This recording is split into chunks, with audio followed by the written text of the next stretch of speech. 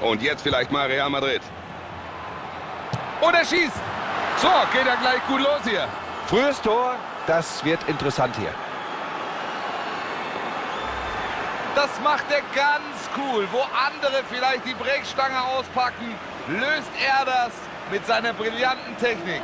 Und er macht es genau so, wie man es von ihm erwartet.